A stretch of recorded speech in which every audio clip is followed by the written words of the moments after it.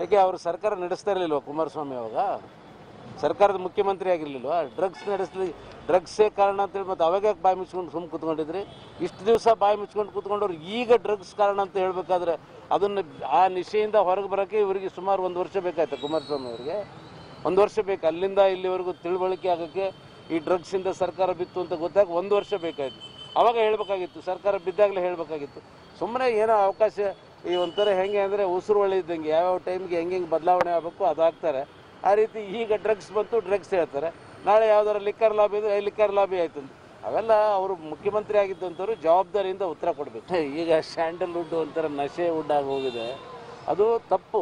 ಈಗ ಸ್ಯಾಂಡಲ್ವುಡ್ ಇದ್ದ ಸ್ಯಾಂಡಲ್ವುಡ್ಡಲ್ಲಿ ಇದ್ದವರೆಲ್ಲರೂ ಗಾಂಜಾ ಅಥವಾ ನಶೆಗೆ ಒಳಗಾದರು ಅಂತೆಲ್ಲ, ಆದರೂ ಕೂಡ ಒಂದು ಕೊಡ ಹಾಲಲ್ಲಿ ಒಂದು ಹಳಕ್ಕೆ ಉಪ್ಪಿದ್ರೆ ಅದು ಹೇಗೆ ಹಾಲೆಲ್ಲ ಕೆಟ್ಟು ಹೋಗ್ತದೆ. ಆ ಥರ ಇವತ್ತೇನು ಸ್ಯಾಂಡ್ಲ್ವುಡ್ ಅಂದರೆ ಬಿಕಾಸ್ ಸೆಲೆಬ್ರಿಟೀಸ್ ಇಲ್ಲಿಲ್ಲ ಇರೋಂಥವ್ರು ಸೆಲೆಬ್ರಿಟೀಸು ಈ ಸಾಮಾನ್ಯ ಜನರು ಒಂದು ತಪ್ಪು ಮಾಡೋದಕ್ಕೂ ಒಂದು ಸೆಲೆಬ್ರಿಟಿ ತಪ್ಪು ಮಾಡೋದಕ್ಕೂ, ಯಾಕೆಂದರೆ ಸೆಲೆಬ್ರಿಟೀಸ್ ಗಾಜಿನ ಮನೇಲಿ ನಿಂತಿರ್ತಾರೆ.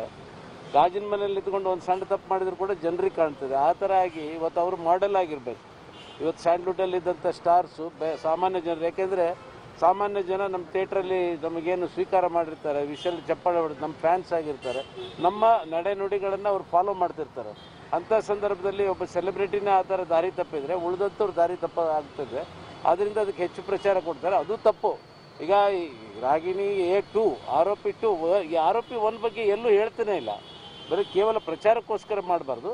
ಯಾರೇ ಇರಲಿ ಜರ ಡ್ರಗ್ಗನ್ನು ಸೇವನೆ ಮಾಡಿದಂಥವ್ರು, ಗಾಂಜಾವನ್ನು ಸೇವನೆ ಮಾಡಿದ ಯಾರೇ ಇರಲಿ, ಕಾನೂನಿಗಿಂತ ದೊಡ್ಡವ್ರು ಯಾರೂ ಇಲ್ಲ. ಆದ ರೀತಿ ಯಾರು ತಪ್ಪು ಮಾಡಿದ್ದಾರೆ, ಆ ದಂಧೆಯಲ್ಲಿ ಯಾರು ತೊಡಗಿದ್ದಾರೆ, ಅವ್ರ ಮೇಲೆ ನಿರ್ದಾಕ್ಷಿಣ್ಯವಾದ ಕ್ರಮವನ್ನು ಸರ್ಕಾರ ಜರುಗಿಸಿದೆ. ಯಾರು ಬೇಕಾದ್ರಿರಲಿ ರಾಜಕಾರಣಿಗಳಿರಲಿ ರಾಜಕಾರಣಿ ಮಕ್ಕಳಿರಲಿ ಸಿನಿಮಾ ನಟರಾಗಲಿ, ಇವರಾಗಲಿ, ಯಾರಿಗೂ ಮುಲಾಜಿಲ್ಲ, ಕಾಯ್ದೆಯಲ್ಲಿ ಯಾರಿಗೂ ಮುಲಾಜಿಲ್ಲ, ನಿರ್ದಾಕ್ಷಿಣ್ಯವಾದಂಥ ಕ್ರಮವನ್ನು ತಗೊಳ್ತೀವಿ.